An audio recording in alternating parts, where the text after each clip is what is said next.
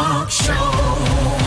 It's a daily talk show, episode 444. Special guest in the studio, Tully Smyth. Hello. You've already laughed at the over the intro. I think I heard Well, that. I, I wasn't warned about it. It was very loud in my ears. We, we should actually give a, a little bit of a warning. Yeah, you It- should. It's. I mean, you've got headphones on. You're you're in the studio. How are you? We. I'm well. We're, we're very close. Mm-hmm. I feel like we're really bonding just from the proximity of how where we're sitting. That's I, how we. I thought you were talking about our relationship. Our knees are almost touching. Almost. well, this is what I worked out uh, early on. Is I would look at the video and I would, for whatever reason, Tommy always looks closer to the guest. I don't want. My, pe- it's my, my shoulders. I I, don't- fill it out. I don't want the audience to feel that it's I've very got bad distracting rapport. to be able to see yourself. Well, literally, I saw, like the other day, I was like, the, I was literally doing the podcast, and I look back at the video. It's like, what sort of rapport does it look like? It looks like I'm not even in the show. Yeah. So it yeah. is. is It's either you to- smell and you're getting away, or they smell. Yeah. I mean, how uh, how conscious were you? Big Brother days already fucking going there. it's great. Let's do it. uh, conscious of that stuff of the, of the cameras.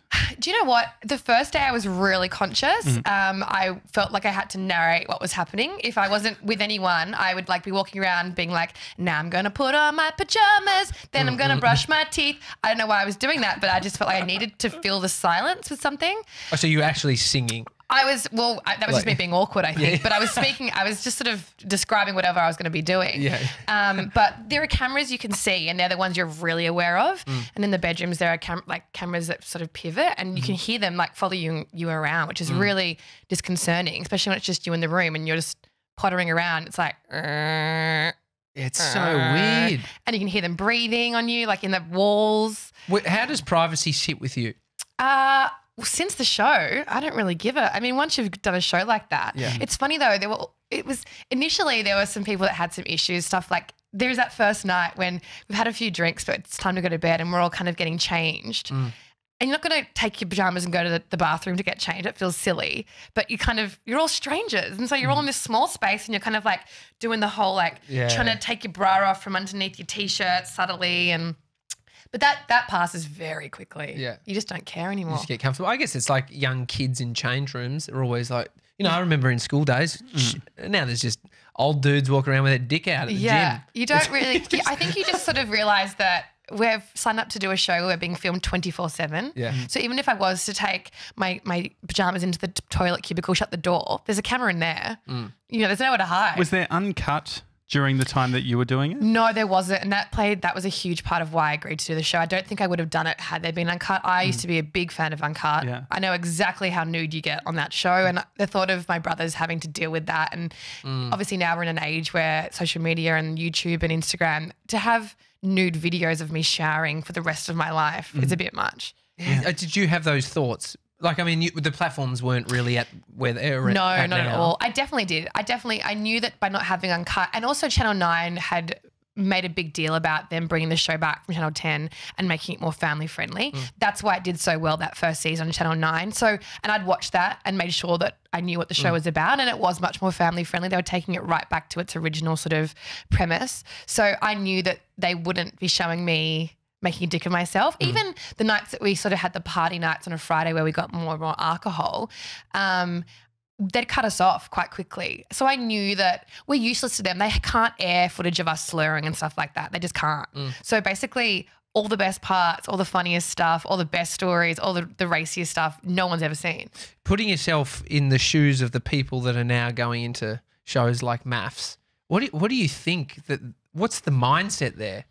I mean, mean- they're outrageous. Those fucking Well, shows. it's a different. It's also a different beast. It's not like you're just going into a house and oh, I've just got to be myself. It feels like you're playing Oh, this yeah. whole game. Yeah, I've often wondered how I would fare on a show where I have a camera and a producer in my face. Mm.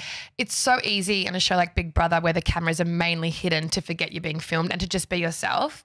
I don't know how I would go, you know, if you and I were chatting and then all of a sudden the camera crew popped up, whether I'd sort of straighten my back and change what I was saying. And I don't know how I'd go with a physical camera and a, and a producer feeding me basically lines. Could be good for Josh's core. no, well, yeah. Just if, if, if- back all if the it's all for posture, I mean, we had uh, we had um, Scott Pape, the barefoot investor, in here. Big fan of him. Yeah, he's amazing. And we they had the Foxtel um, crew documentary, and there were you should have seen there was moments where the, the camera was like this up to my face and we just have to talk normally. And you definitely there was a bit of a performance Yeah, exactly. My hand never does this. I do a bit of bit of that. Exactly. And I even felt that in the show, you know, when you did feel those cameras on you, like, you know, because of my situation, um, there was a constant bedroom camera on my bed. Mm-hmm. With my ex-boyfriend Drew, and I could, when I saw it facing us, I was aware that it was facing us. Uh, and even I remember being outside um, in the garden once, and I was went up to the one-way mirror, and I was really close to it, trying to get this like blackhead out of my face, and I was like this close to the camera, and but, bef- sort of you know how if you get really close you can see kind of through them. I Uh-huh. just saw this massive lens just focus and readjust. And i was like holy shit. I'm like oh my god there is someone literally like here at my face. And i'm just there like squeezing. So you're slowly forgetting that it's that it's all being filmed. oh for sure you definitely forget you forget really quickly The love with Drew, you know, you've experienced. what a love story what a lo- you know, it's one of the I actually wa- classics. This, this this morning I went onto YouTube. and you watched a compilation yeah, video I watched there's so compilation many. Videos. beautiful. It was not. How is he, by the way? You spoken to him? He, yeah, we speak really, we speak regularly. We've spoken um, recently. He's good. He's doing good. He is finishing an accounting degree and he manages a bar in South Yarra. It's a classic story off the back of a highly successful reality show. Accountant into a. To his credit, he has two degrees. He's also an engi- uh, has an engineering degree. No, so I think that, I mean that you're smart as fuck. That's one of the things I thank you so gauged much. from when I met you. You can have preconceived ideas Mm. of Tully Smyth, but I think wh- when I met you, I'm like, wow, you're you're really really smart. Not I that I thought anything else, but I think your uh, what you push out to the world obviously is what people will give feedback on Well, you- or take an un- and make a judgment or understanding of you. The but- qualifications needed to be in a house is quite low, right? Totally. And I think it's interesting when I, I haven't watched the show back in its entirety. I've just watched little clips on YouTube. Oh, we're doing a marathon this Can we actually? That would. Do you I know wonder- what? I've thought about that so many times when I've been like ill or you know come you know hungover, and I'm like, is it is it time? Is it time? But I haven't had the guts to do it yet. But don't know if you need that trigger. no, like, like even this. hearing the theme song makes me kind of like rock back and forth in the corner a bit. Uh, but no, my two best friends, the night I was evicted, I said, you know, how did I go? What do you think? And they're like, yeah, to be honest, the thing that really annoyed us was that they just they didn't show how smart and funny you are. They just kind of showed either you crying or you making out with Drew. They were your two sort of things. Because I think the you're entertaining is the one that they showed, right? But it's also doesn't mean you don't have depth. Mm-hmm. But it's just what they bring. And so there's people are enjoying this whole thing and your friends are going, Oh, the true Tully, I fucking know. yeah, totally. And they're missing a whole point. Well, when there's 21 people in there and it's the show goes for an hour, you know, of course the bits they're going to use of me are me having a tantrum or me making out with someone. Yeah. Why wouldn't you? so the so the love between you and Drew. Um, Back, I, back to I- the love well, story. I, I think about traveling, right? And the the moments I've met a woman. I've got a beautiful wife now, and it's okay. Who you I'll met use, in Bali Yeah, okay. I'll, I'll Potato use this then. The good example. Get, I won't get in trouble. I met my wife That at is a- Potato Head. that gives me hope. that gives me so much hope. It's the love But story that we, it's you never this- hear. It's this explosion of uh, energy, right? it sounds Mm-hmm. a bit weird. Um, but there's, it's like that's what I look for, right? That's what I've always looked for in a partner is like fireworks. fireworks at the start. That's what yeah. you don't get on Tinder, I believe. And not I Bali. Belly. But is it Not explosive diarrhea, re- just explosions. your experience now? Is it real, like what you and Drew experienced, or is it just purely heightened and you actually get walk away from it and go, Do you know what? I've thought about this so often over the years. Um, I've gotten drunk and texted him, being like, "Do you think that were we really in? Was that was that all real? What do you think?" Um, it's hard to say. I don't know any different. You know, I I have been in love before. I've been in love before. I you know I felt I was in love before I met Drew, and I've been in love since. And there is that you know you do know what it feels like to fall in love. I just remember he came in a day late because he was like a surprise intruder um, with a fake wife, which I was the first to pick up on was definitely not a real relationship. uh, but the minute he walked in, you know, I think you know the first night you get in there and I clocked everyone and I soaked everyone. I was like, nah, I'm good. No issues here. This- I'm gonna. I've got this. no issues based on no one that you were attracted Yeah, to. I mean, or- I you know, my friends, my friends said before I went in, they're like, look, you know, they're just worried. They know what I'm like, and I am quite affectionate, and I'm, I'm at that point, I'd been quite codependent. I'd been in relationships my whole life. Uh, I just gone from one to the next to the next. And they were worried that I would struggle without my partner uh, and without that sort of like close person to lean on. Um, plus, I'm a Libra, so I'm a flirt. And so when everyone, I clocked everyone that first night, I was like, nah, I'm all good. This is sweet. And then he walked in second day, and I was like, uh oh, I'm in big trouble here, like big trouble. Um, but he he really was for you know initially they're my best friend. He was my rock, and my support. We really got each other on on a level very early on. We both felt like we'd been miscast, which sounds so funny now considering how much of a role we played in that mm-hmm. series. But everyone was quite. Uh, they're kind of show pony. They were they were really loud and really in your mm-hmm. face, and they all had a you know a really hectic backstory. And there was you know there was a, a Michaela who was adopted and she was Asian, and you know and then there was Tim who was really out there, and then there was a guy who was in the army, and there was a firefighter, and mm-hmm. you know Miss Universe chick, and we were like, it, we just we felt like we weren't performing, and so we'd sit in the corner and talk to each other about how we felt like we would. We were worried we were letting the producers down. Quite frankly, we were like, we're not giving them what they want. Little and did you we, were people pleaser. little did we know we were giving them everything that they wanted. Yeah. Um, no, it was more just like we just felt like we we weren't meant to be in there. Mm. Everyone was putting on this big show, and we were kind of like, oh, this is uncomfortable. But you even found that at the auditions, right? Like, yes, I did. Yes, I. I think I just think I'm too cool. I thought I was too cool. Yeah. Too, cool. you know, some of those some of those challenges and stuff where they want us to dress up in overalls, pretend we're at a car wash. I was like, oh, I don't want to do this. this is so not. embarrassing. Yeah, Yeah. basically. I remember doing drama school as a kid, and they'd play games. I'm like, I'm here to act. None of this fucking dumb shit. It must have. It must have. It must have been obvious from the get go because I remember Alex Mavroidakis, the producer, the night before we went into the house, coming. He came around to all of our hotel rooms in lockdown to have one final chat with us. Mm.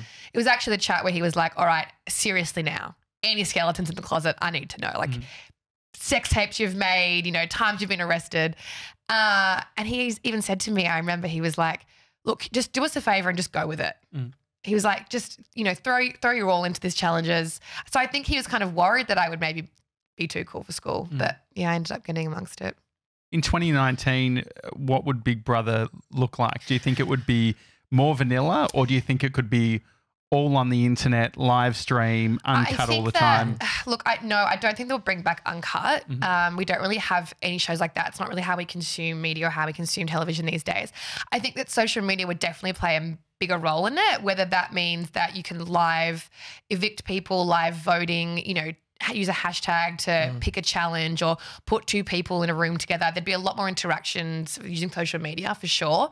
Uh, but I think that what Big Brother do well and what they figured out when they brought it back is just sticking to the original format. Mm. Um, at the end of the day, in a world that where we're so inundated, you know, the the, the market is so saturated now with so Mm. many different reality TV programs. I think bringing it back to basics like Big Brother does is what's going to make it a success again. We've got a close friend of the show, Scooter Derrick, who is obsessed with Big Brother, has and was part of forums and like flew up to the Gold Coast to Yeah. see the live show. He probably He went would- to your on the- one. Did he audition?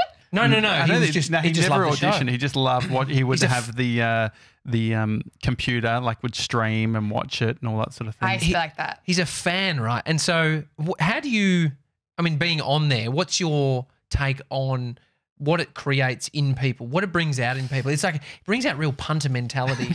I You was know? well, I was the same thing. You know, I think it's really funny when people say, "Oh, I never watched the show." Yeah, you did. I was I was a huge fan of the show. Same thing. I remember originally they had DV, they had a DVD that I had. They had a weekly, very thin, but like a weekly magazine. They had Yeah. sc- at one point housemates' faces were on scratchies. Like I had it all. I bought it. I bought all into it. I loved it. Um, I think with a show like Big Brother, what makes it unique and what makes maybe people still want to stop you on the street and ask or feel like they're my friend is just the fact that you are just li- watching mm. us live our lives. So we do feel like a friend by the end of the day. You know, you watch us get up, you watch us go to the gym, you watch us eat a bowl of cereal. There isn't, yes, we have weekly challenges, but they're mainly for the, you know, entertainment of you guys. There's no sort of, you really seeing. Thanks. just, You're welcome. just monkeys. You're what's what's the, what is it now then for you that because I don't I don't know if thing what what has the craziness around them like the old stu- old school reality shows like what is creating Yeah, that I wonder. now? Well, because it's mainstream, isn't it? I, I went down a rabbit hole of Mm. montages uh, on the weekend because I watched Saturday Night Rove. I was like, man, I remember so it you being saw the better. one out of the two episodes Yeah. before it was Oh, canned. has it been canned? oh, it's been canned. uh, I predict. It's Did I been the predict show- it? I don't know. I think it's got the record for like quickest. really departure. But. TV's a bad time right now. But I went through and I watched the monta- I watched the 2004 montage of Rove, and I was like, "Am I?" Because I had it in my head. It was such a great show that I, I loved loved watching. Yeah. And I went back. I was like, "No, this is fucking brilliant." And I, it was even him having hard conversations with Big Brother, like where he was actually like calling people out and stuff. So what It's- are you into then now that's of a similar what can you draw the similar experience to you loving Big Brother? I mean, I still am a reality TV fanatic. I'm Oh, you are? not going to pretend that I'm not. I watch it all. I watch overseas versions. Um, again though i just there's nothing like it. Mm. there really isn't. There isn't anything. I think probably love island to me feels like the closest thing to big brother Mm. because apart from trying to fall in love um, you are just watching them live their lives in a, in a one house. Um, that's the closest show to this that's the closest format i think to big brother. And that's the show that i feel like resonates most with me and my experiences. Shows like and again hidden camera show. Mm. shows like married at first sight and the bachelor i just it just feels so manufactured these days. Mm. Um, you know i've heard that with this next season they're they're trying to cast men who would agree on camera to be set up with a transgender person um, so it, they're only going to Mm. push the envelope even more and and the mother hen in me, the sort of the matriarch of reality TV and social media, just really panics for these young people that are going on these shows. Do you remember the show? Um, it was Miriam, and it was yeah, she passed away recently. Oh, that's sad. It was Yeah. a, a transgender woman who all these men were vying for because and she was she was did a class beautiful. action lawsuit. And then, surprise, guys! It's a guy. I've got a Ah. penis. The winner actually went on the holiday with her. So the prize was if he decided to stay with her after finding out she actually had a, a penis. Um, I think the prize was a holiday, and that he actually went on the holiday with her. I probably just to save face. Uh, well, a And trip to Fiji is a trip to Fiji as and, well. and they then wouldn't he do that joined. now. He joined the, the the lawsuit with everybody else that's on the show. Also, Yeah. I mean, the, she was in, also on Big Brother, by the way. Oh, really? She was Wow. on. She was an intruder on um, Fitzy's uh, series of Big Brother. oh, that's right. Australia. But is that like, is that transphobic? Is them like doing it as a big reveal and all Absolutely. This was, yeah. this, this was very early on. Yeah. Um, that would absolutely not fly these days. Mm. Absolutely not. What's the deal with cash when it comes to these reality shows? Like, do you get a certain amount every day that you're on? Yeah, you get a weekly allowance, but it's not a lot. Basically, how they pitch it to you is that end of the day, even though I never saw it as this, I probably should have thought more about it. But end of the day, you're vying for a cash prize. Mm-hmm. It's a reality TV Mm. show, but it's also you know a competition. Free rent as well. Well, yeah. Well, no, it's not free rent because you're still paying rent outside. Oh yeah, sure. So you couldn't don't, even get like- your lead. Yeah. Yeah. Mm. So they see it. They don't see it as you making money. It's not a job. You're, you're trying to win the money. So they just don't. They want you to break even. Mm-hmm. So I think it was like 500 bucks a week, which Uh-huh. at the time my rent was 290 a week. Mm-hmm. Doesn't. Plus you got bills. You know, it Mm. doesn't leave a lot, especially if you've got. You know, we had a mum in there with two kids, and I'm sure a mortgage. It's not a lot. Yeah. So then it's um, making the decision whether it's viable or not. Like I think it's Totally, and it's not viable for some people. Yeah. it's not, and you know, and then you've got to handle all of, of uh, you have to hand your finances over to someone trusted. So I had to give my ex access to all my bank accounts, all my bank net banking passwords. You have to sort all the direct debits out. God. What did he do when you started kissing Drew? Oh, she. She. she- She's a She- oh, sorry, sorry, she. He was a she. Uh, I look, thought that was post no, No, that no, was no. pre. pre. Uh, it didn't go down well. No, No, she didn't drain my bank accounts, which was nice of her. what a great woman. yeah, but she, uh, yeah, it became really awkward. And I remember thinking that in the house, and I remember thinking, uh oh, oh, she's in charge of all my money right now. oh god. How much did they set? Because you, I had a vision of what happened in Big Brother, and then watching the montages, and I saw how much like the producers are setting up. Like, there's a bit where Sonia Kruger's on the seat talking to Drew and said, "Oh, what would you say?" And then uh, here if, she is. Yeah, if what would you say if Tully was here right now? He's Mm. like, oh, you know, I'd probably kiss her and say hello. It's like, well, turn Come around. It's like it's a little bit tacky, like little. You sort of was come all. out. I knew that was going to happen. So that was basically once I got out and assessed the damage and decided I wanted to be with him. Mm-hmm. Um, Assess the damage. I love how you said that. you sound like a panel beater. I can tell you now the damage was extensive. The car was a write off. Um, yeah, well, I, they were really gentle with me on my eviction night. I think they were worried that I would lose my marbles. But um, I was then brought back. I was brought back into the show, onto that stage or into the show three times after being evicted, which is just never happens. Yeah. So the first time was for an Ask Tully segment where everyone could tweet questions that they weren't able to ask me on my night that I was evicted. So I went back, I had a Q&A with Sonia. Then I was brought back into the house for the freeze challenge to let him know that I was single. Um, Did they tell you, hey, we want you to go in and say they this? called or- me, Alex called me and said, hey, so I've got a proposition for you. And I said, yeah, shoot.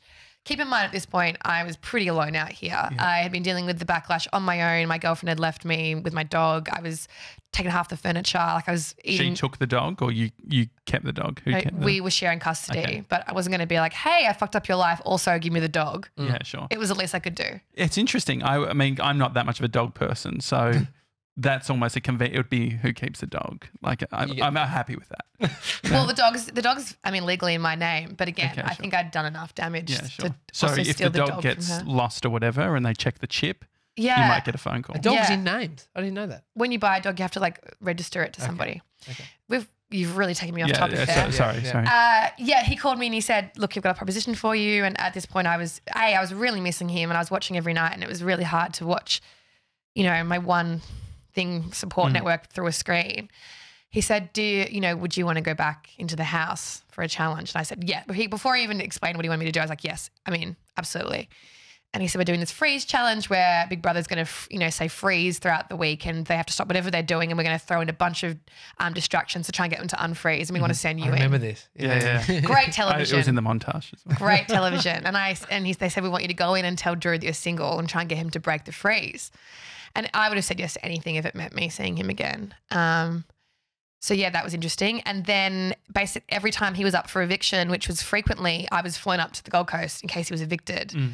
which was really taxing on me at the time. You know, this build up, no, let down, build up, let down, build up, let down. So I knew that they were going to have a big on stage reunion. I Mhm. knew that was going to happen. Um, they were always going to make the most of that for What, sure. what do you think of the Gold Coast? What's your relationship? With I love the Gold Coast. It was my home for a long time. Um, you know, you do a lot of stuff pre and post. So I was there for a while. I, I love the Goldie. I'm a st- I'm still a big time celebrity up there. They still love me. So it's it's a nice little ego boost when I'm up there. The um, I, I like to. I would think. I would hope that these reality shows are doing their due diligence when it comes to people's mental states, right? And so you're thinking, uh, you're talking about you're out, you're feeling alone. Like, are they actually looking? And I think about the shit written about these MAFS stars, these girls losing their shit. They're fucking put on all this weight. It's like, yeah, it's because they're probably fucking going crazy. yeah. Yeah, there's definitely uh, not enough done. I've spoken out about that in recent months um, when you know we had the second Love Island UK suicide. Um, there definitely is enough being done. They offer you sort of the bare minimum. They say, you know, you get a chat with the um, the show psychologist when you first get evicted. He's the first person you speak to, and then he maybe gives you a call to check in a couple of weeks later. But even then, you know, you're basically talking to a puppet of the network. You don't really feel like, you know, you sort of you try and say, you know, I'm feeling this way, I'm feeling this way. You know, people stop me on the street and he kind of just makes sure that you that you steer the conversation, the blame away from the show and the network. So you don't even feel like you know. I eventually put my hand up and said, "I'm going to find a separate, you know, my own psychologist, and you guys, you guys are going to pay for it." Um, they did. they had to, um, but there was uh, there was definitely not enough support. There is enough support. There needs to be compulsory check-ins, you know, weekly and then monthly and then six monthly and then yearly. Um, there needs to be a lot more done for for the mental health. There needs to be media training, you know, so that they can handle these interviews. They can handle social media. They know what to do when they're being trolled. Um, there still definitely is not enough to be being done in terms of looking after the the contestants post show. What happens uh, when you come out of the Big Brother house? Like uh, people you went to school with? Do you get Oh. like random? Yeah, we spoke about this in the house. We were like, who's going to come crawling back? um, yeah, there were douchebags. There were boys that I was obsessed with in high school that gave me donuts that were suddenly blowing up my Facebook inbox. There's a Facebook back then. yeah, Facebook, Facebook. Yeah, they weren't in my DMs yet. Um, yeah, a lot of a lot of people from high school, boys that I was obsessed with, uh, girls that were mean to me at school, um, people claiming to you know be your best mate, a guy that you worked with at Macca's when you were 14, claiming to be your best mate.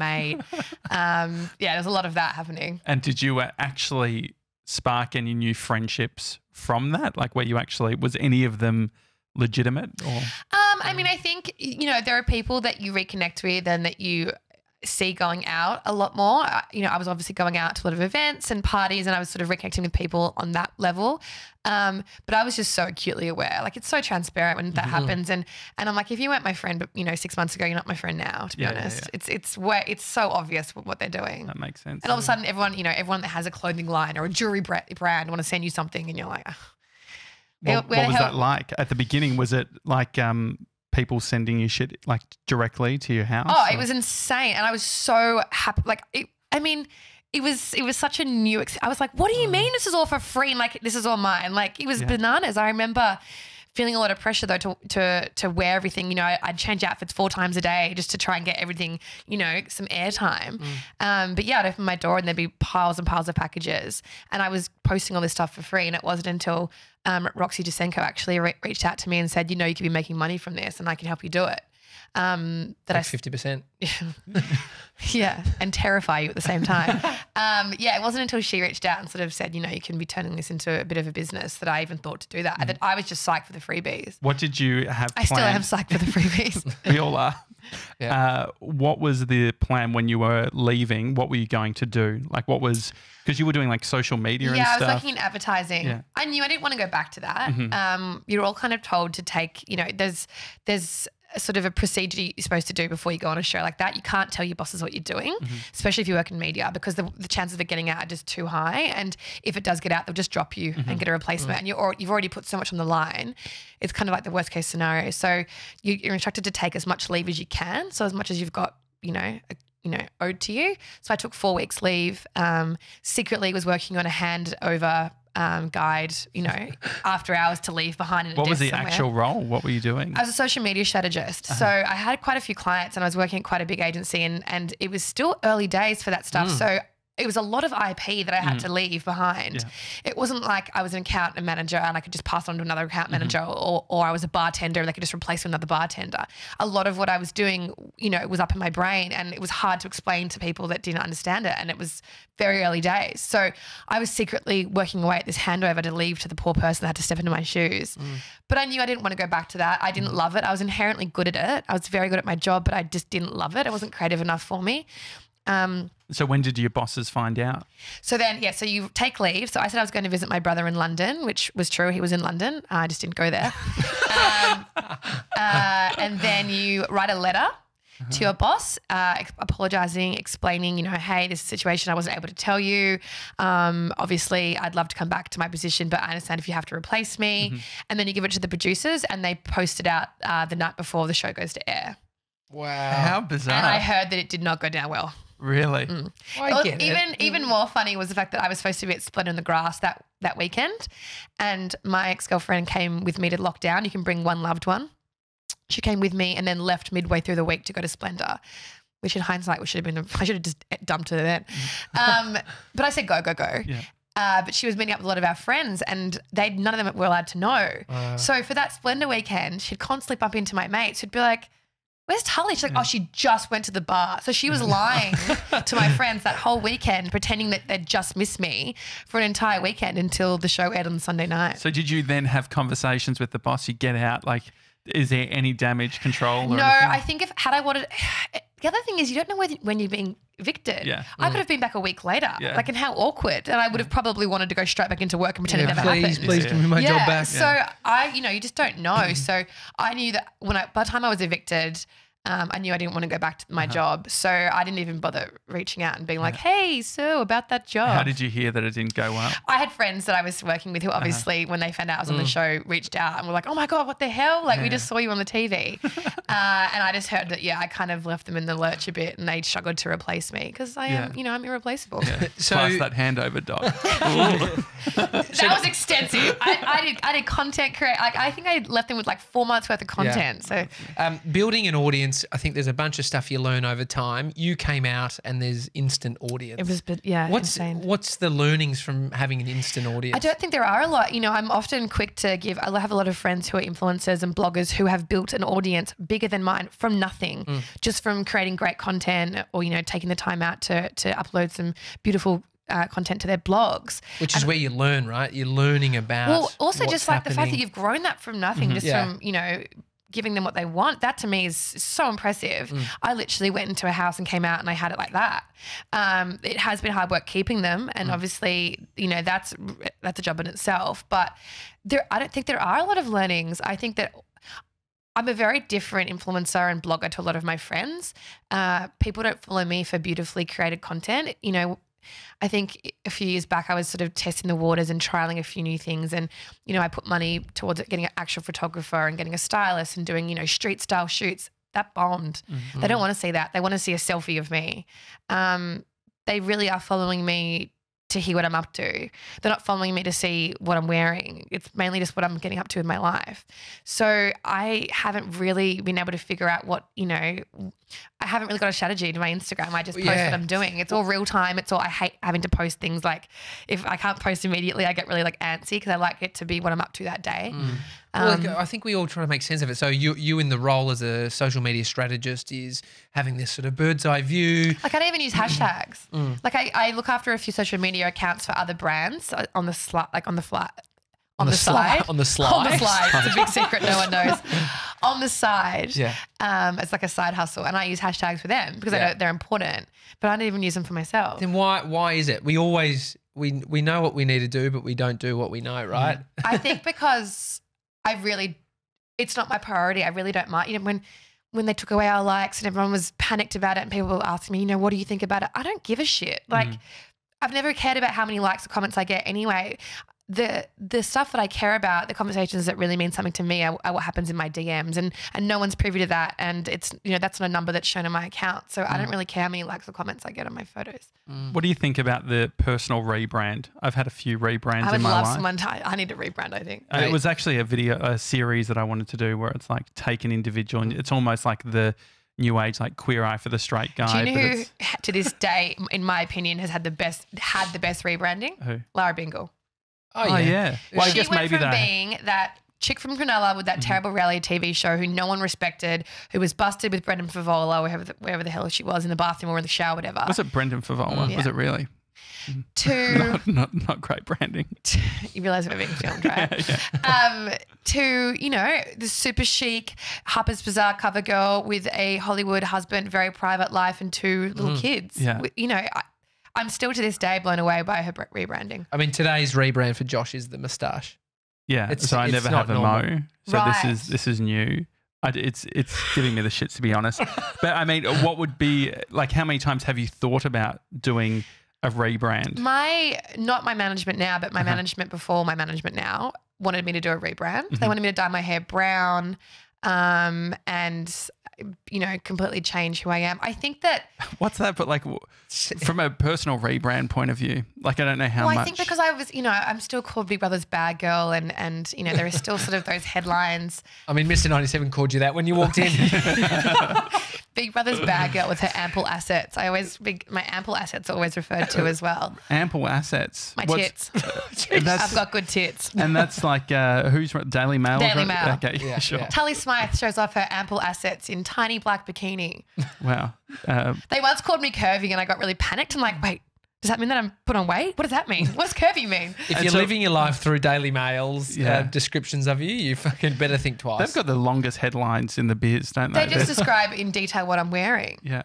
yeah. And so um, the brunette, uh, obviously, that's a very slight from a rebranding perspective. No, I, I would argue that that's a that's a definite. I'm trying to rebrand myself. Uh, If well, I go Mr. brunette. 97 used to have uh, brown What hair. is with that Justin Timberlake? Yeah, Mag- yeah, yeah, Maggie yeah. Noodles do. Rachel Vitullo, one of the best uh, colorists in Melbourne. she she did his hair. So did it. You basically, need a I had, toner, babe. Oh, I know. It's it's like yellowish. It is now. yellow. It's like fluoro yellow. Yeah, yeah. It's not Rachel's You problem. literally look like Maggi Noodles. but yeah, when he walked out of uh, Joey Scandizzo's salon, it was looking crisp. Mate, a million bucks. a you million just need, bucks. I can give you a great purple shampoo. Great. But anyway, so he's had the, he had the uh, the rebrand. But what is the more internally? Are there moments of change that you think I'm going to start Yeah, doing so you this? can Oh, change your physical definitely. appearance, but you can also Definitely, definitely. I think um, I think I went through a, a, a bad relationship breakdown um, a few years back, and it completely turned. It was you know social media played a role in the breakdown, and it made me reassess what I was doing and who I wanted to be and who I was putting out there, and I kind of decided that I was going to start using my platform to talk about things that mattered to me more. I was going to be more open and honest and transparent. And I spoke about more about my anxiety, my mental health in general. And I spoke more about my down days. I spoke more about my mum and her um, battle with dementia. There was definitely a shift back then. And that's been really well received with my followers. That content is always what does way better than me in a bikini with my ample assets. Um, So you're talking about the stuff that's there already that you're just now bringing to the forefront. change- yeah, changing I the think I felt. spotlight, I isn't think it? I felt Yeah. like um, people wouldn't be interested unless it was shiny and pretty, and I had my tits out. Mm. I think that was my understanding, and then I, I thought even if that is the case, it's not sitting well with me anymore. I'm not sleeping well at night with what I'm putting out there. So, even if it was just even if it was going to bomb, but it made me feel better about what I was doing, I wanted to do it. And it, I've just been lucky in that it's resonated really well with my following, and that people seem to appreciate me being transparent and and you know relatable and and flawed. Mm. Well, I mean, you, your sexuality shifting, or I don't, I don't know what you didn't is even in- know I had a girlfriend. So No, I your remember it, but I research is actually- just I thought it was the other way. I thought you came out and then you got a girlfriend. no. No. but you no, had a no, girlfriend. you Makes sense. I mean, that's a sh- that, that's a shift. I don't know. I've never been Yeah. through that. Is- That's not even a. Sh- that's a complete 180. That's like a Mm. yeah. That was a really I'm being sensitive, as you Crazy. can tell. It was a really crazy time in my life, and it's something that I've tried to figure out um, since then with different psychologists, just because I want to understand what the fuck happened. Are you any Um, closer to having an understanding? No, I have no idea, and I've also been told by many people that it doesn't like why does it matter? It doesn't, it doesn't yeah, matter, yeah. but it's just nice to understand. I'd like to understand Mm. what what happened, where I've come from, where I'm going, why that all you know transpired. Um, but yeah, that was a huge shift. I mean, Mm. I went from being having a partner and, and dating girls predominantly for six years, which is not, you know, when people say, oh, maybe it was a phase. Six years is a long phase. It's a long time. And these were like two, three year relationships. I lived with my partners, you know, we had dogs. It wasn't like I was just going out to a nightclub, making out with a girl and going home being like, woo. Like Mm. these were long term serious relationships, adult relationships. Um, so yeah, I you know, and I, and I was quite um, big in the in the lesbian scene in Sydney. You know, a friend of mine ran monthly parties. My ex girlfriend was a DJ. You know, we were quite out and about. Um, and then so to come out of the house and not fit into that anymore, it was it was really it was a really confusing time for sure. How do you find a good psychologist? It takes it takes time, and I I- it, it it it frustrates me and it, it makes me um, upset because it is a barrier for people. I think that you know it takes so much to get someone to agree to go to the GP, to get a referral, then to find a psychologist, then to go to the appointment. That already takes so much. You Too know, much admin. it's a lot of admin, but also it's scary when you're already feeling overwhelmed um, with anxiety or depression or whatever it is. That's like, whoa, what? That's like three appointments. Like, Yeah. that just seems like it's too much work. And because then also when you're not feeling great, you're like, rather than doing that, I can actually do these other three things that like I know I can just go for a walk and eat better. Totally. And then Um, to then to find someone and then to spend the first hour, you know, just barely breaking the surface on your story. And then to not feel like you're understood, Mm-hmm. and to then maybe have to go to that all over again with someone new, and still, you know, it's a process. So It's what is it like? Do you go in there and then do they just do you try and give as much context? Yeah, I mean, first of all, I would always recommend if you know someone who's already seeing one. Mm. I think I think a referral, uh, you know, word of mouth is always a great starting point. If you've got a friend who you like and you think Mm. is on the same wavelength who's seeing someone great, ask them their their name. They're, it's all so strictly confidential. Don't ever Mm-hmm. Yeah, yeah. feel like they're going to be talking about you behind your back. It never is the case. Um, so That's I've, what they would say. no, I think that you think that what if you know my friend, are you going to be telling her, you know, all my issues and childhood traumas? Um, but then I think, uh, you know, once you get in there, depending on how you're feeling at the time, it might just be a general checkup where you do start at the beginning. You know, when I was five. This happened to me, or I've gone when I've had something that's quite pressing and quite debilitating, and I've just walked in there and gone and just blurted out what was happening at that very moment. Yeah. Um, it's just it's all about you and what you need. It, you know, It's so interesting because I even uh, uh, my girlfriend's psychologist. She really um like I assumed that all psychologists are like oh you know you got to Take a lie stay down. calm or whatever, but like Bree's psychologist will even be like nah fuck that person they sound like Oh, they're being an asshole. sure. And I'm like oh I can get around that if it's just a bit of a think bitch you session. it, it depends what you need. I think that if if you need someone who's on kind of on your level, like I, I've always preferred a female Mm. psychologist. I also have found over the years that if they don't know anything about Big Brother or reality TV, it's not going to work. Mm-hmm. They need to have some kind of understanding of what that would be like to go through that. You know, if someone's like, "Oh, I don't watch TV," I'm like, "This isn't going to work." Mm. Um, but yeah, I definitely think that if you need someone to be like, oh, you know, he sounds like a fucking douchebag. if you need someone to, to sort of be able to say that to you. But then I've got friends who um, are from, you know, quite traditional background. Their parents are doctors, and she prefers the sort of cold, Mm-hmm. you know, mytho. You know, she prefers that sort of. So it just it's what you need from somebody. Mm-hmm. It's like a book. What you know, there's so many different types of books that you could read that might not connect with you Totally. at some point, but later down the track you read it again, you're like, "Fuck, that is the penny You drop." might, you know, Yeah. if you might need tough love. I personally don't react well to tough love. So if someone's there telling me to pull my shit together and you know do better next time, it's just not going to work. Yeah. So it's just about figuring out what you need. Do you actually say that? Like if you're working with a psychologist and it's not going well, would you do you like call it out? No, it's like when you're getting a haircut and you're looking in the mirror and it's terrible, but you just panicked and you're like, I love it, it's great. And then you go home and cry in your car. yeah, No, you just get through the first hour, you pay them a quadrillion dollars, and then you just vow to never go back. yeah. I did see um, on the Shameless community, Brie was showing me there was that whole thing of you know how you can get the ten free. Yeah, so the mental health care plan. Did you hear about that? I saw that there was something around like people use it like for insurances or whatever in the future. Yeah, it's hard, It's, it's a bit, yeah, that's. Which freaks me I out a don't, little even, bit. I don't even want to talk about that because I feel like that's just going to scare people off Oh, from yeah, seeking exactly. help. Yeah. But yeah, it's a bit backwards that the government offer this amazing healthcare plan where you can get 10 subsidized, subsidized, subs- Subsidized? subsidized Diced, yep.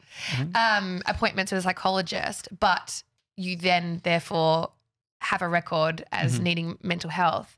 And if you go, for instance, I've got a friend who's trying to get into police force at the moment and he was struggling. And I said, you know, you need to go speak to someone. He's like, I can't.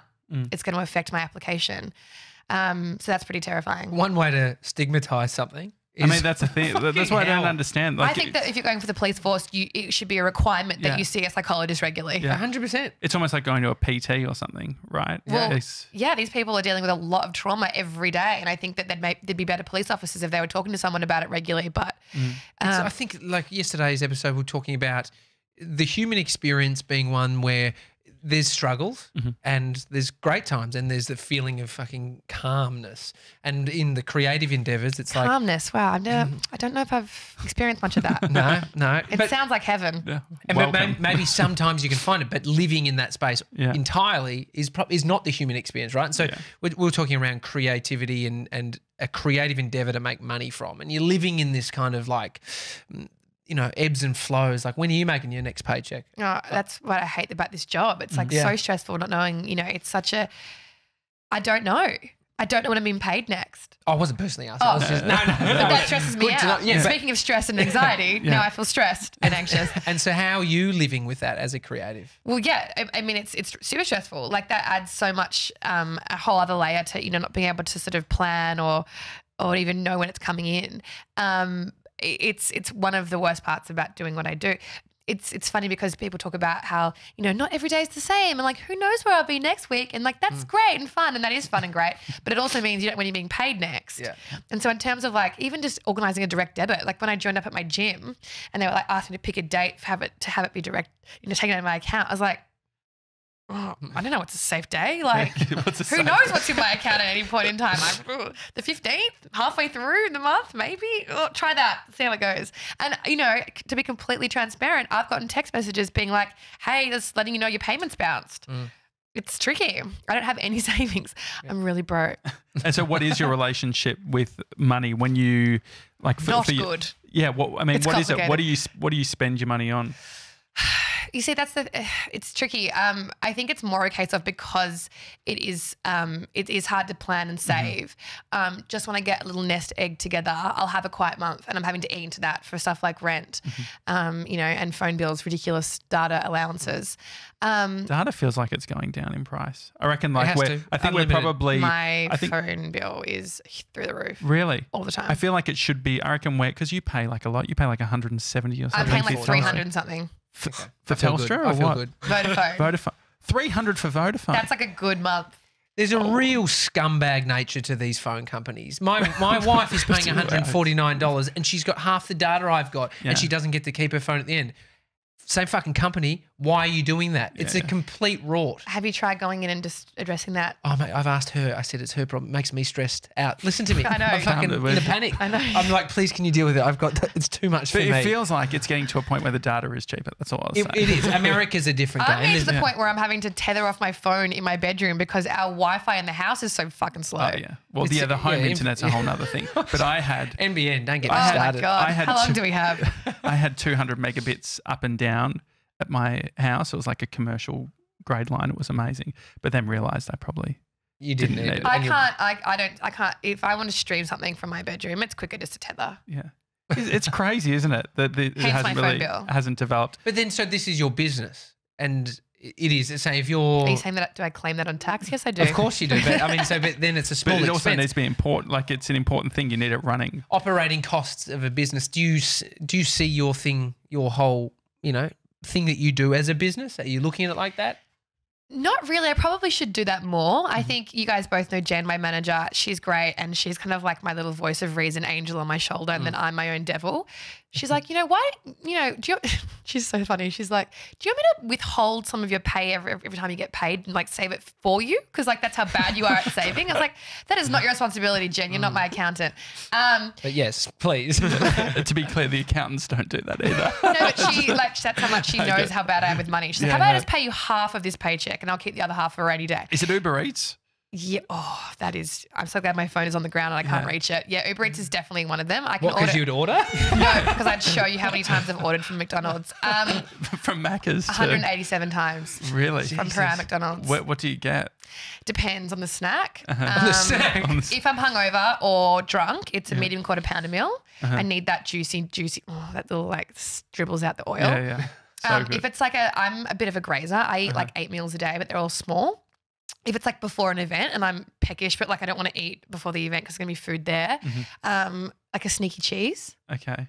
um, or even like a happy meal, sans the toy. Will you finish the whole thing if you're grazing?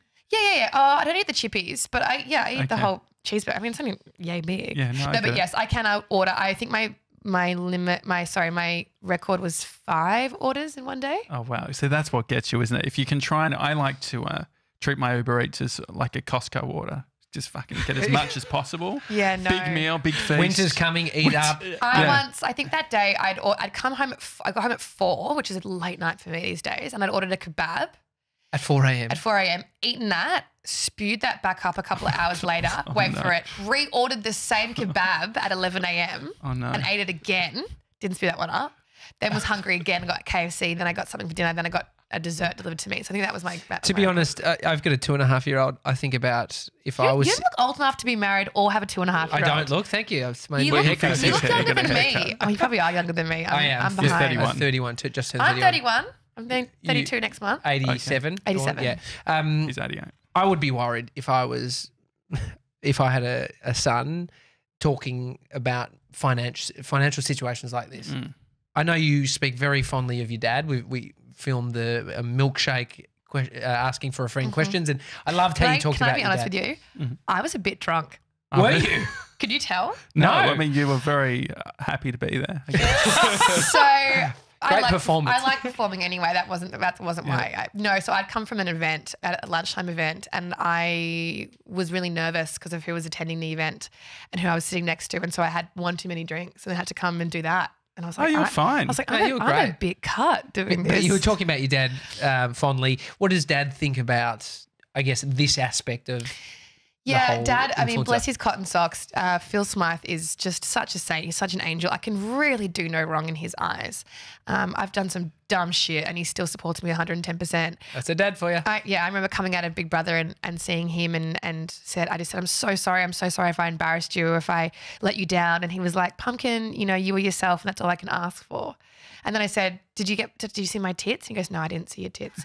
I later found out that he did see my tits. He was just protecting me.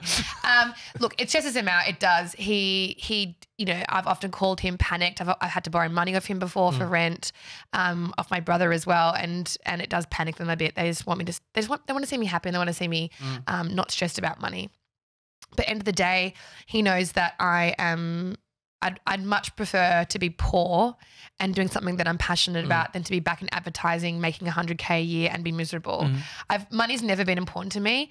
Um, we had a lot of it when we were younger, and then when Mum got sick, we lost it all. And so for most of my life, we've had no money, and I've just learned to get by, and I, we just always figure it out. And you know, it's it's it's very important to my brother. That's what he's driven by. That's what he works really hard for. And he's younger than me, and he's about to buy a house. And congratulations to him. And he's definitely earned it. But it's just not what drives me in life. Mm, oh, it's hard because I mean we've been talking about making money through Mm. doing the creative thing we love, and I'm very much the same. I can't take a job Mm. that's paying 150 grand that I feel like shit every day. It would kill me. Yeah, I'd it- be a shit did- husband, a yeah. shit dad, a shit mate, all of these things. And Shit so employee. Shit, I do definitely. Be Yeah, if you're doing a shit job for the I'm doing the worst job. But if all goes to shit, I will Yeah. be okay if you do hire me. no, but That's a good, good sell. and so the it's important, right? Because money makes the world go round. Unfortunately, yeah. And so we need some of this shit. And so Mm. I what's think that's why I've been so, so fucking happy with this new podcast I'm doing with Mamamia. Because for the first time, I'm being paid to do something that I really love to be. I'm loving to do. Um, you know, not that I haven't enjoyed some of the work I've been doing. You know, as an influencer, there's definitely jobs that come through where I'm like, am I literally getting paid to do this right now? This is the dream. Coachella, baby. Yeah, seriously. I mean, that was that was one VIP Coachella with Revolve. Insane. I was just in Cambodia with Wella, and I was paid to be there. Insane. How am I being paid to travel? That that is literally the dream, but it's still not, you know, fulfilling that sort of that job satisfaction feeling, mm. and that's what I've gotten recently from the podcast. Plus, it pays my rent. Like, you know, that's what you want. Um, I mean, it's it is hitting the jackpot. That's what I think about. If you get to wake up every day doing the fucking thing you love, and still make rent. That's the dream. Yeah. Yeah. I think the other thing too is for Tommy and I, we're like obsessed with not working for anyone else, Mm. which can happen. Which I, I guess like you're a great example of someone who like you're doing. You you can work for someone and still be satisfied. I think it's all in the story as well. Yeah, but I am very much like it's definitely it's funny. I've had a few jobs over the years where I was doing a three day a week um, gig with a PR agency as a freelancer. And it is very funny to go back to that life when you Mm. haven't been doing it for a long time. Like even when I was um, up at the Mamamia offices doing my podcast uh, for those two weeks, being in the office, you know, at eight thirty every morning and leaving at six, like that was a shock to this. I was exhausted. yeah. Well, you know how to quit. You send a letter and then you just, you just wait. You Then just appear on hide a for a TV few show. weeks. Appear on a Yeah, TV show. Just do something with the No, Today but you get you become a good employee, right? I think it's. I take my hat off to people who can Yeah. stick it out. What's a good and employee? What's a perfect employee day? Like you get a. It's very similar. It's just like you don't have the Mm. stress of worrying. There is Okay. something nice though. I think when you've been doing what I've been doing for so long, there is something nice. I mean, there are bonuses and negatives to both sides of the of the coin, obviously. But there was something nice about having a routine. You know, Yeah. getting up, having my toast. I caught the train for fuck's sake. I don't do public transport. I don't, So I don't, novel. I don't even have a Myki here. Like I really don't. If I if Jen wants me to get the tra- the tram into the city, or if I go to the footy, I have to like. I'm like, does anyone have a spare Myki with some dollars on it? Because I don't have one. Mm, I can relate. I mean, did, did you buy a new outfit and stuff? I can. I feel like when people get A their work outfit? Yeah. No, but I did have to make sure because I've, you know, I dress kind of um, a little bit alternatively anyway. Mm. I had to make sure I wasn't wearing any like, you know, rude. Sl- I've got like a, a t-shirt with drawn on boobs on it. I was like, oh, Uh-huh. probably shouldn't wear that one today. Although Mamamia, they probably love it. yeah. Is that the one that says "Bad Girl of Big Brother" on it? No, no. have I've you ever done merch? Your own merch?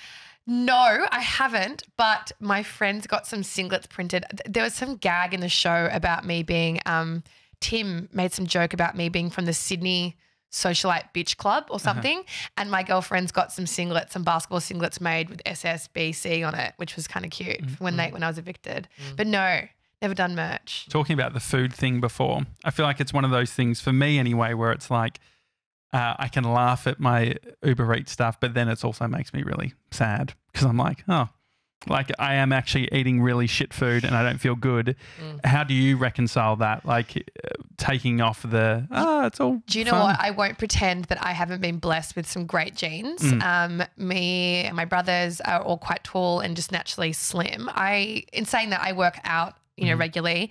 Um, that's really important. I do that mainly for my mental health, to be completely honest.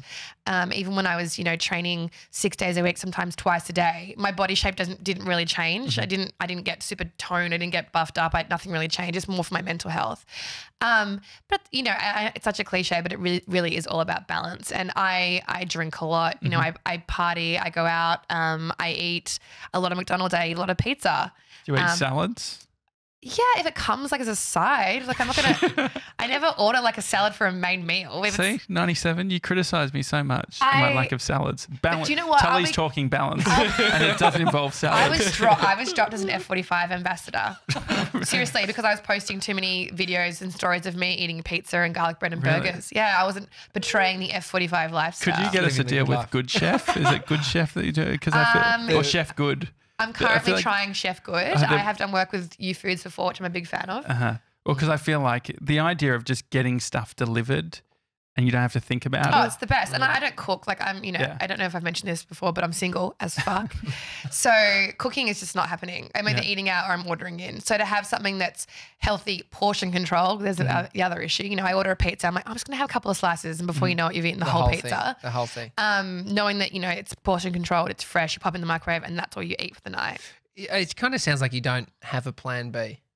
For Just food. food. No, life. no, no, for, for, for food. This just got. Re- are you attacked? I feel attacked. No, not food, but as in the career stuff. Like it sounds like you're willing to live in the space of No, feeling a bit uncomfortable. I yeah, I mean, I, I definitely I, something changed. There was a shift end of last year, um, and I thought I don't want to be doing thi- just this for another year. I'm sick of not feeling fulfilled. I'm sick of not feeling challenged. What was inspired. just this? What's just this? Influencing, you know, I didn't want to just be taking selfies for another year. Um, and I said I had a few ideas of where I wanted to go. Podcasting was definitely one of them, and that's come to fruition just coincidentally. Um, but I kind of decided that this year would be the year where, where I um, made a change, and and that's worked out for me. So I think I'll always be doing the influencing stuff as long as people want me to do it. Why would you turn that away? Mhm. I'm not going to say no. I'm not going to take a grand for, for doing it. Like you're not going to say that's ridiculous. It's stupid. So for as long as they want, they'll have me. I'll definitely continue to continue to do that. But um, the podcasting stuff has definitely brought me some personal satisfaction. How much of this stuff is actually by chance? You said the podcast oh, by chance has happened, but if you're thinking I want to be doing something different, isn't that kind of Well, to be honest, I mean, I think what got me that gig was doing these. You know, hmm. I was a guest on a few other podcasts that had done well, had gone, made the rounds. I'm sure someone heard that or saw that and put it forth, and that's why I got the the, the call up. Hmm. So, um, I guess my maybe my background in journalism and my ability to you know tell a story has has helped. I don't think it's just I've fallen and slipped into it. Obviously, there's some I've got some kind of skill. You Do I not? Why am I here? Yeah. Yeah. Well, you said um, in an Insta story that one of your dreams was to do radio, yeah. and this was sort of podcasting. Well, this is is like new Radio 2019. Exactly. Yeah. And so when you, because a bunch of people did it, Chrissy Swan is a good example of someone Fitzy. from, yeah, Fitzy. Mm. Was that on the cards? Were you pushing that in the No, definitely not. I, and I, people don't believe me when I say that. And I know that, that I maybe wasn't. It, there definitely were people in the house that went in there with the idea of coming out with a media career, Mhm. be it presenting, radio, whatever, acting. That was never on the cards for me. Um, I think right up until I was evicted, I thought I'd go back to my job in advertising. And then doing all the radio stuff that you do after the show, the chats with Sonia. Um, you know, I was a panelist on a couple of morning shows in Sydney for a while. I loved that and I was good at it, and um, it was really exciting. So that's kind of when I thought, oh, maybe this is something that I could be doing now. Um, but that never, again, I mean, that never came to fruition. You know, I never got my own TV show. I didn't become a radio host. I didn't get a regular TV gig. Were there conversations with people? Yeah, definitely were. And you know, and there's been talks of me doing going on Home and Away, and there's been all kinds of chats like that over the years. Um, doing other- reality TV shows, but it's never come to fruition. So even when I got the call about this podcast, I kept it to myself for ages because I was like, I'm just so um, prepared for this to be pulled out from underneath me again. I mean, you've been doing the. f- So if you were to look back at say five, six years ago, and that, like, what's the future of work? It's like you're in this new space, this weird influencing space, and then Yeah. it's like now the weird new space is getting paid to do a fucking podcast. Yeah. That's the weird new future. Yeah. Right. Well, I never, I never thought that I'd be doing influencing stuff still. Mm. There's no way. Like, no way. Like, I thought that, you know, but even I thought, okay, I might get into the next series of Big Brother. I might get that much time. So just under a year before people f- stop caring about me. And that was six years ago. Mm. But you could never have predicted that at the time. There's just no way. And so when you, uh, when did you find Jen, and when, when did it turn in from you doing it on your own to having support? So yeah, so Roxy Jacenko was my first manager at Ministry of Talent um, in Sydney, and then I was with another um, agency, and then I met Jen. Jen actually booked me to go on an Insta meet. It was um, very forward thinking back then. She was on the ball even even back then. So she had me, a few other influencers um, and personalities. So there was Nadia Bartel, Lindy Klim, um, and a few other smaller influencers, and she had us all come to a resort that she was looking after in Bali. Uh, and basically, we just were there for four days, and we knew we had to Instagram the fuck out of the trip. And I met her on that trip. She was still working in PR, and I was umming and ahhing about moving to Melbourne. And she said, "Come, just do it." She's like, "I'll be your friend. I'll hang out with you." And so I made the move, and she's one of my first friends here. And she still worked in PR for a while after that, and then eventually she started Day Management and I watched that flourish. I was a bit apprehensive, and she knows this. I was a bit apprehensive too. I think people assumed I'd be her first talent, Mhm. And we'd be out at events, and they'd be like, "Oh, so no, what's it like? You know, how's Jen going?" And it was kind of awkward for a while there because I'd be like, "I'm actually not with Jen. Um, but I just wanted to see, you know, it was my bread and butter too, and it was my career. And, and she didn't have a lot of experience in talent management. She had a lot of experience in PR um, and marketing and that kind of thing, but not in talent management. And so I wanted to sit back and watch her for a bit to make sure she knew what she was doing. And she was killing it. And I was really impressed with everything she was doing and, and how far she'd grown and progressed. So I um I signed over. What what makes a good manager? She, I think it's funny because I, I sometimes I, I make sure she gets the credit she deserves because I've had quite a few managers, quite a few high profile big ones, and she's by far and away the best I've ever had. And I'm not just saying that because she's my best friend slash manager. She's really proactive, and I think that that makes her stand out from the crowd. She um, doesn't just take the emails that I forward to her or that get sent to her as you know inquiring about working with me. She will go out and she will hustle hard for me. She will see that, for instance, Pantene are working with another influencer from another agency. And she'll go, Oh, what the hell? Why aren't we working with them? And she'll cold call. She'll approach them and she'll say, Hey, you know, I've seen you guys have been doing some work in the influencer space. Mm. We've got Tully, we've got XYZ. They're mm-hmm. great. Here are their stats. We'd love to work with you. That just does not happen at a lot mm. of agencies. And it, what it's what makes her stand out from the crowd. I, don't- I You should do talks. Like, have you spoken to kids uh, in front of a bunch of kids? No, Like, you- it's like funny you say kids? that because I saw a psychic recently, and she said that I sh- uh, that's where I'm going to what I'm going to be doing. Is this the Bumble event? I feel like everyone's being seen to no, psychic at the I didn't see event. the line was too big for her at oh, that Oh, really? event. Yeah. No, I have one I see once a year. I think she's great. And she said that I will be doing motivational talks at schools talking about anxiety and self love and trolling Yeah. and stuff like that. Well, I think the story in the I don't want to do selfies anymore, but it's like it's it's part of the journey, right? And I think you've mm. got a good take on it. You've you've, You've had got a ex- lived experience. You've had an yeah. experience that no one Mm. will probably have, like most people won't have. Mm. Going into a fucking big brother, like going into a, a CCTV house, Mm. every room is filmed. It's like, and then coming out of it, I think it'd be great. Yeah. Thanks. Well, if you're out there, I'm, I'm down. Yeah. Yeah, I'm yeah keen. Bright, Brighton Grammar. I don't Go know if speak to you've, some I don't know pubescent if young you've- teens. If you've realised, but I do like the sound of my own voice. So I'm, I'm happy to, and I love a microphone. Do you have days off? Like, do you ha- do an- annual leave? Do you go somewhere where it's not to take photos? Yeah, I think it's really nice these days when I get to go on a trip that's not a, a job, Mhm. you know, because those jobs, everyone's like, oh, you're so lucky you get to travel. And I absolutely am. But sometimes, you know, they're, they're wanting three posts from you a day. Mhm. Mm. That's a lot. That's a lot of content. It's a lot of thinking. Okay, I gotta wear. I gotta wear a cute outfit. I gotta, you know, that wall's kind of cool. What about that? You know, the bath over there is cool. So it's really nice when I get to go away and not have to do that, not have to check in, not have to do a story, do a room tour, do a. it doesn't happen often. Yeah. Um, but it's really nice when I get to do that. Well, I guess it's sort of once you start playing like con- the Contra game or whatever, all of a sudden going to if you're used to get, going to like a really nice hotel and getting the best room, and you oh, just have to do some from posts. grace for And then, sure. then like being like, oh, you in Phuket trying to negotiate the Yeah. one room up for an Oh, extra it's- fifty it's bucks a so, night. It's funny. It's hard. Like it's such a first world problem and like a tiny violin yeah, um, kind of deal. But you know, when you're sent to when you're always VIP at festivals, when you get you know sent to when you go to movie premieres in gold class, when um, you do a job with someone and they fly you first class, to then go back and like live your actual life on your budget and be like, oh, okay, so I'll just take the king's room with no balcony. Uh, if there's a window, that's no, no window, that's fine. Um, flying economy, you know, with everybody else in the Portaloo lines at the festivals. It is funny. what are you learning from Social Squad, your new podcast? Out now. Out now. Um, Yeah, yeah, On top of- iTunes. top New- of the charts. new- it was top of the chart, number one for over a week. Um, yeah, no, it's out every Wednesday, so get amongst Mm-hmm. it on every podcasting app. I've actually learned a lot. I, I I've chatted with a variety of different of women, businesswomen, entrepreneurs, influencers, some of whom I've followed myself for years, and I was a bit starstruck and a little bit giddy meeting them, and then others that I wasn't familiar with, but I'm now obsessed with. Uh, but I've learned a lot. I've learned a lot about these businesswomen because, as you you know, as you said before. I haven't really ever considered myself a businesswoman. I haven't really ever considered my Instagram a business, but it is end of the day.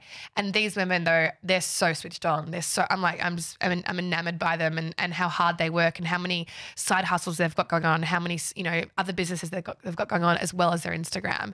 Um, it's been pretty eye opening, and I think that that's why I am excited about the show because if it's been eye opening for me and I'm in the industry, Mm. it's going to be you know really interesting for everybody else. Well, they're real conversations. They're they're not just an image. And I think having something. me host it and having me be the interviewer and having me there to chat and bounce ideas off and sort of be like, oh, yes, same, me too. I think that helped get these people to open up a bit more. Mm. You know, when I ask them questions, you know, like the, what's the weirdest DM you've ever been sent? and they kind of look at me a bit panicked, like, oh, like, can I say that? And I'll be like, oh, well, I've been asked to send a photo of my feet. And they're like, oh, yeah, me too. And it kind of gets them to open up a bit more. Um, so I know there's another one that you spoke about at the milkshake shoot that you got uh, oh, asked. to be in a porno. yeah. Yeah, that's one of my that, favorite stories. that got cut from the milkshake. You guys video. cut all my juicy stuff. But how much? How much did they offer? They offered me 100K to be in a porno with two well endowed guys. I can read the email if you want. I, I I would go and like look into the people. Like I'm fascinated by Uh, who's the, person. The sending email that? address was bundyboy1990 at, at hotmail.com. so um, they also instructed me to be clean shaven. There was lots of instructions in that email. Um, I just think I'm worth more than 100K. yeah. It's so fucking bizarre. But, you know, it's, it's spit roast. you, Well, want, maybe- you want a bit more than 100K, Well, if don't you, you? yeah, if you weren't going to do uncut, like a Big Brother, if they didn't have uncut, a hundred grand is. Look, I've always appalling. said that if if worse comes to worse, and we go. Drew and I, Drew and I have to film a, a, a video and get it leaked and get it paid for. Yeah. That's one thing, you know. Having sex with someone you're actually having sex with is one thing, but yeah, I don't think I need to be involved with two men. Is the um so the Instagram's one platform that's obviously doing extremely well. Do you have the sense of where's the next one? Where do I need to be building? I've no, I, again, you know, I've been told that TikTok is where it's at. I refuse. It to Tommy's on Tommy's on TikTok. It is. eighty thousand views he got. TikTok is just Vine with a new skin. Yeah, Well, the him. thing is, yeah, they're just so the platforms just opened, content. they opened up the floodgate, right? It's like Instagram when you, yeah, yeah, there's a Wouldn't it- floodgate. wouldn't There's this? water. the funny thing Wouldn't is, it be this? Now there's there's this? water sinking over it, right? And then it goes. I always goes- assumed that the gate would have just been like that. Not you got to watch the video for this, guys. But you've actually Yeah, but it's think going about it. down. That there's way. water going, and so right now there's water going in, there's water going in, and then they've gone, and it's just pouring, and you're getting sucked down into the And hole. which is TikTok. TikTok's the hole. TikTok is. And I you're can't the water. even. I'm Yeah. someone who like unless I'm an early adapter, I refuse to be a late adapter. Mm. So like I haven't watched any Game of Thrones, haven't watched Lord of the Rings, Either haven't have I. watched Breaking Bad Star Wars. because I, of course I haven't. I haven't seen Star Wars. that's weird. Yeah. I have two younger brothers, so I grew up with Star Wars. Okay. But if I'm not an early adapter, if I'm not being able to talk about it with everybody real time, I just refuse. Mm-hmm. So I've already I'm too late for TikTok. I'm also too old for TikTok. well, I don't know. There's Tommy got a new haircut. so I don't all just good. for TikTok. No, Was it's that, just was that content? No, that is no, no, shit no, no, content. no, You, you it's- need a crash course in how not. But how do you? content. Cha- it's just Tully. How do you challenge this thinking of yours? Because uh, is it? Does it serve you? I'm I, I'm doing this at the moment, going, what do I fucking think, and then what is the opposite of that? And maybe that's You're actually the true, guy right? playing the theatre sports games. Getting but right how do you it. go? How, how do you? How do you have that mindset and ever then win on another platform? Because being an early adopter is fucking hard. You've got to have some either accidental stumble into this thing you've downloaded, or Mhm. be on have your foot in the pulse, I finger on the think pulse. I've kind of the way I've always looked at my career and what I do is I've always I've always found myself to be lucky. I've always thought, oh, I'm lucky to still be getting paid to do this, and so I'm ready for it to end any time. Um, you know, when people talk about, I think there are definitely a lot of people in my industry and even some of my friends who, if Instagram, you know, if Instagram crashed tomorrow, they would be fucked. Uh, but I have always had confidence in the fact that I've got other skills and talents and I have other things to off- offer, and so I've never been concerned about being left behind or not adopting the next app or not having the followers or not having the engagement rate. It's never concerned me. Like I'm kind of prepared for everything to stop tomorrow. Um, and I'm confident in myself and in my ability and in my brain that I have other things to offer and other ways to make money. That's good. Good answer. I think no. I think it's. great. I It's think it's like relaxing. Like Of course, it- yeah. I find it calming because Yeah. I think like there's a a confidence where Tommy Yeah. and I are at is like we need like we don't have an aud like we've got our audience here, but it's like we built this from nothing, and so it's the con- the thing that got us to there was doing all this stuff, Mm. and so it's Constantly chasing your tail. yeah, and so there is something nice about being like oh fuck I it. it think will- that in a weird, like in a weird liberating way, like don't you guys just love it? You know, there's only been a couple of times, and I can think of in memory, I think maybe two or three, where Instagram's been down for more than a second. It's been Mm. down for like half an hour and an hour, and there are always hilarious tweets. Everyone goes to Twitter, and there are always hilarious tweets being like, "I just met my housemate for the first time." Um, but isn't there something really like? Exciting and liberating about that. Like, Mm. Have holy you- shit, is this over? Is are we all like I don't know. It's something about it makes me I'm excited for that next Well, I mean, there's the, a book, Digital Minimalism, by a guy named Cal Newport. He did another book called Deep Work, which is like uh, he talks about shallow work. So the day to day stuff that we'll be doing and focusing on things like writing a big book rather than doing individual tweets. Well, I think even Big Brother, they there was a lot of chat. They pitched me as a social media strategist, and there was a lot of chat. You know, even I remember being on stage with Sonia Kruger before I went into the house, and she said, "You know, well, here's the big question: How are you going to cope without your phone?" And that was a lot of my post um, eviction chats were also like, "How did you go without your phone?" Um, that was one of the best parts about it. yeah. Connecting with people, making friends, making connections with none of those distractions, computers.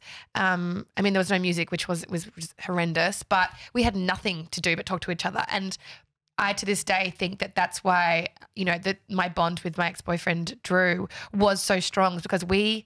It's kind of like dating You in the didn't nineteen. phones. It makes sense. It we just yeah. talked so much. Like Yeah. I know I can tell you about, you know, things that he was scared of when he was a child, Mm-hmm. um, memories of him in the playground as a ki- as a kid. Like I know so much about him that we would I.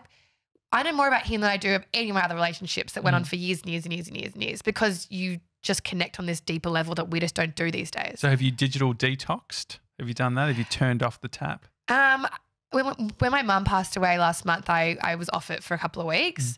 It just wasn't where my head was at. Um, but I don't. It doesn't. It doesn't stress me out enough to need to do that. I don't get to the point where I'm like, oh, it's 10 p.m. I'm going to put my phone down and just switch off. Mhm. Um, if it's causing me distress, if my if my Instagram's blowing up, or you know the trolls are at me for a day, I just put my phone down and read a book instead. Mm. You've spoken a lot about your mum on other podcasts about the struggles with dementia. Mhm. Uh, what's the grieving process been like with her passing away? It's been um, an interesting one. I don't know what I expected it to be like. Mm. Um, I've, s- I, I, you know, I think that I, I guess I had an idea in my head about how I would react. Mm. Uh, I, I thought out of out of everyone in my family, I was the angriest that she was still alive. I was the angriest that she was still stuck in this sort of no man's land. Mm. And so I think that I was, I, I thought that you know I'd get the phone call that she was on, you know, close to passing away, and I would step into gear and I would hold it all together. Mm. And then we got a call um, about a year ago saying that she was going into, well, as close as palliative care as she could get into. Uh, and that really fucked me up. I, I was real, I don't know why, but it just really threw me. When we got the phone call last month um, saying that she'd taken another turn, I don't know whether it's because I had that initial f- shock reaction or just where I was at in my life at the time, but I, it, I, it kind of played out the way I thought it would play out. So I got my stuff together. I went to Sydney. I spent three days with her. She passed away, and I pretty much, um, along with my uh, eldest brother Scott, we organised the entire funeral. I just went into organizational mode. You know, Mm. we had the meeting with the funeral planner. We I picked the flowers. I put the slideshow together. I was the only child to speak at the funeral. Um, I just did what needed to be done. I Mhm. haven't really had that moment of, and everyone's waiting for it. Even my family, you know, dad said to me, he's like, oh, you know, we're all so proud of how you've Mm. handled it. We all thought you'd, I was like, thought I'd what? Like Mm. I'd lose my shit. Um, and I haven't really had that moment. I'm, I don't know. I'm kind of like waiting for it. Yeah. Um, you find talking about it is helpful? yeah, yeah, for sure. I think that I, I said that being able to, you know, I did do a couple of podcasts about it and, and spoke about it quite soon after losing her. And I think that that was a way of me channeling my anger into raising awareness and raising funds. My brother did a, a um, had a charity event where we raised over $20,000 um, for him and his mates to shave off their beards, which was great. And I think that that made me feel like I was doing something useful with my pain. Um, which probably helped. And then obviously I, this podcast with Mamamia came about very, very, very soon after too. And I've been able to throw myself into that and focus on that. So I think they've been blessing in disguises. Um, it's nice to think that maybe that's all come about because of mum. You know, maybe she's looking down on me Mm. or that I was able to sort of, now that I was able to sort of pack that away, um, finally, that my mind was clear to focus on other things that I've not been able to sort of put my time to. Um, But maybe the the gratitude for the stuff that's happening for you as well. Yeah, for sure. And I think that it's definitely given me um, a platform to talk about dementia awareness and to raise awareness, which is very important to me. And, and, and it has been important to me. And, and if I can make a dent in that, in raising funds and finding a cure, then, um, you know, the 23 years of having, not having my mum around, you know, wouldn't have been for nothing. Yeah, I think it's um it's an interesting one because it's uh, the end of her pain. She Mhm. was obviously uh, in a lot of pain, but and but I guess you can you could say oh there's a bit of there's a bit of sweetness to it. Sure, and I which- think that, that because I lo- we lost her in most ways 23 years ago, that shock factor isn't there. Mhm. I don't feel a sudden emptiness. I'm not going to call her and having to remind myself she's not there. Mhm. I haven't had a mum since I was 17, 18 years old. Yeah. So, whilst there was obviously still pain and there's definitely been a shift, and I definitely feel her absence, there isn't that sort of like my life hasn't changed. Mm. I wonder how that lot. affects you though, because I feel like that would be the because it is such a complex issue. Your the pain that you're experiencing would be, I, I'm guessing, really different to the to that other version. Yeah, it's definitely affected. I think as an adult, and you know, I think as you get older and you sort of want to do more work on yourself and you want to look in, you know, into yourself and be more self-aware. I've definitely now in the last couple of years realized how much that has affected me as an adult. I have some, you know, severe abandonment issues, um, amongst many other things, um, which probably why I'm single. But uh, yeah, it's definitely. I think you know, as my dad's psychologist said to him, you know, we've been grieving her this whole time. Mhm. It's been a- huge grieving process this entire time, which is exhausting in itself. So there is definitely a sense of release. Um, but at the same time, I still, my mum still died, you know, Mhm. and there is still that, that you never, nothing ever prepares you for that. Yeah. W- Going to the funeral and speaking to family, what was that whole experience like? It was a lot because I, I don't know if you guys have seen photos of my mum, but I'm the spitting image of her. And a lot of those people hadn't seen us since we were quite young. And I think it was quite confronting Mm. for a lot of them. They said that to, I've heard that from their mouths. Um, a lot of them found it hard to even uh, say hello to me uh, because I look a lot like my mother. Um, it was nice. I- I think that you know dementia is it's tough. It's tough for everybody. It's tough for the people around. It's tough for her friends and family. And and we did lose touch with a lot of people in her life. That for whatever reason, Dad became a bit more of a recluse, taking care of her. You know, people found it hard to go visit Mum. Um, so there were a lot of people there that were dealing with their own issues, their own guilt. Um, that I ended up somehow having to, you know, I was comforting a lot of people, Mm. which felt weird. Mm. I was like, why am I hugging you? Why are you crying? Yeah. Um, it, it was a, it was a weird one. It was a, it was it, it was a really weird one. And also then the other factor of a lot of the people in my life now, my close friends, and I had a lot of beautiful friends fly out from Melbourne to Sydney for the funeral. N- nearly all of them, no one had met mum. Mhm. So they were attending a funeral for someone that they'd never met.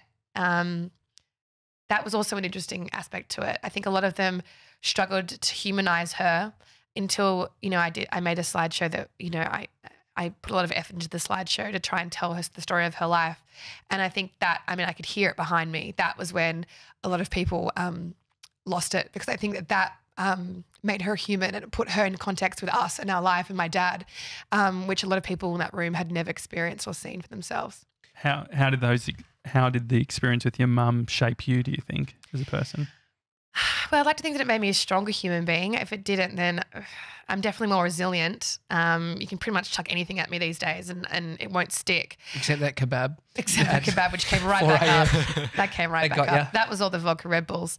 uh, look, it's it's I'm I'm very maternal. Um, I'm I've, I'm a carer. I'm a lover. I I, I fuss over everybody. Um, but yeah, it's it's affected me in negative ways too, for sure. I, I'm convinced that everybody I love is going to leave me. Um, I struggle. You know, I'm I crave. Um, motherly figures and female role models in my life. I don't have a lot of them. Um, my aunt, my dad's side has been amazing, but my mum's sister was pretty much MIA the entire time, which was tough for me.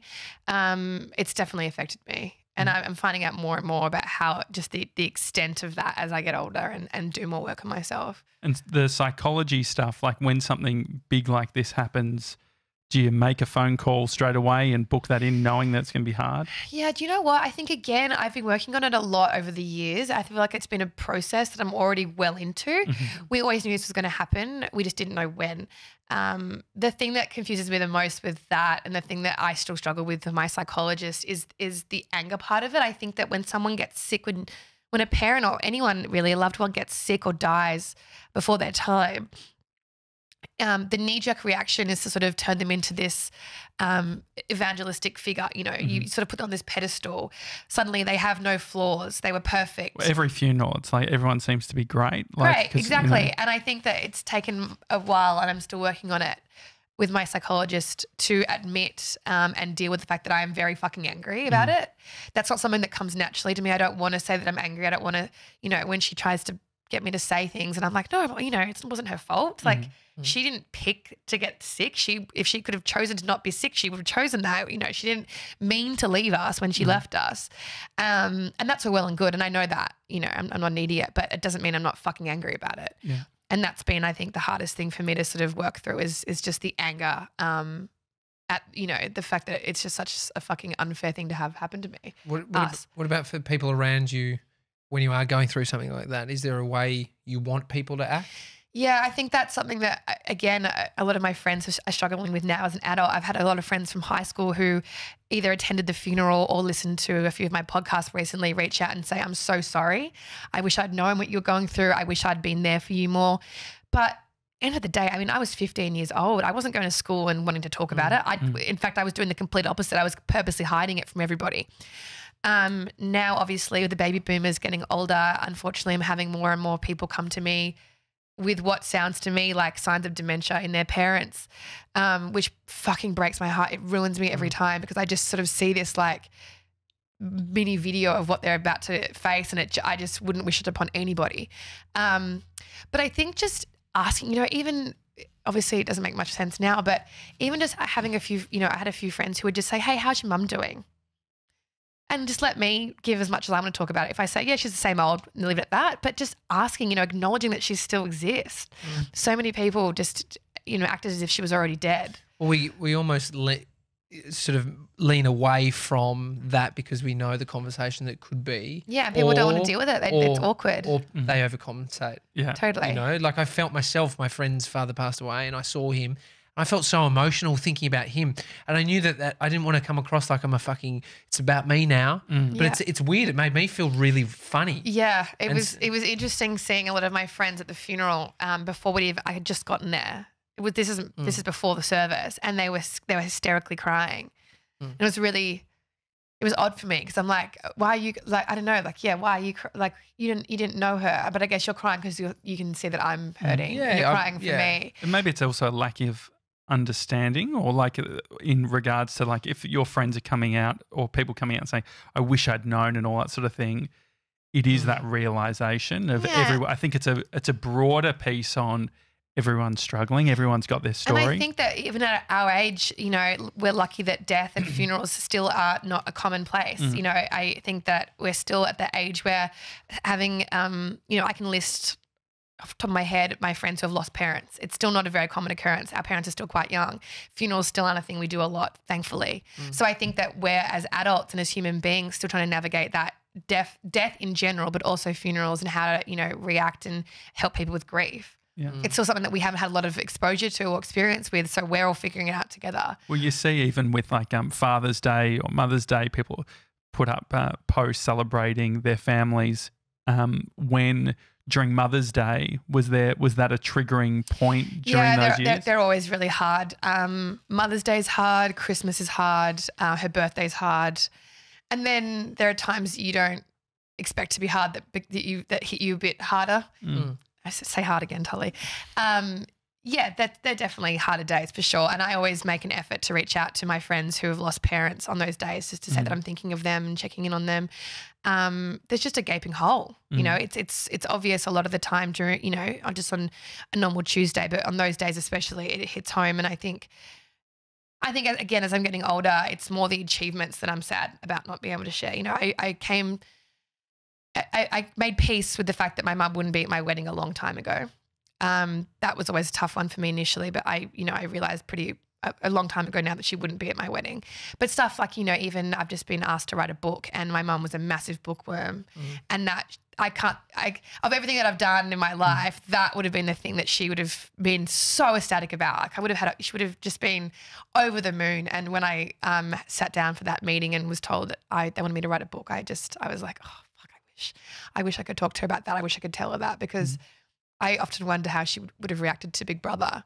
Um, that's a definite question mark, but I know for a fact that she would just be so proud of me writing a book. Yeah, absolutely. And the building, like, do you think that you can emulate family through friendship? Absolutely. I have I've for years um my family are great. I've got two younger brothers and my dad who is amazing, but I think with things like this it it either brings you close together or it it it distances you a bit, um, depending on the kind of family you've got.